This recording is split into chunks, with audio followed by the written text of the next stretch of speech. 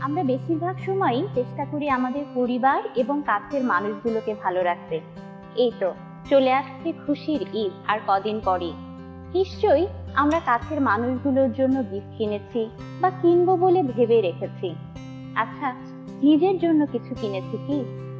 ঠিক একইভাবে আমরা আমাদের পরিবারের মানুষগুলোকে ভালো রাখতে, খুশিতে রাখতে নিয়মিত তাদের যত্ন নেই। অথচ প্রায় সময়ই নিজের যত্নটাই ঠিকভাবে নেওয়া হয়ে ওঠে না। আমরা অনেকেই জানি না কীভাবে নিজের যত্ন নিতে হয়, কি করে নিজের জন্য একটু সময় বের করতে হয়। নিজের যত্ন নিলে শরীর ও মন দুটোই ভালো থাকে।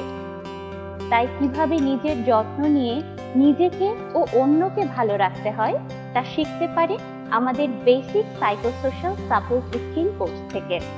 তাই দেরি নয় আজই নিজেকে গিফট করুন এই কোর্সটি মনে রাখবেন নিজের যত্ন বিলাসিতা নয় অগ্রাধিকার।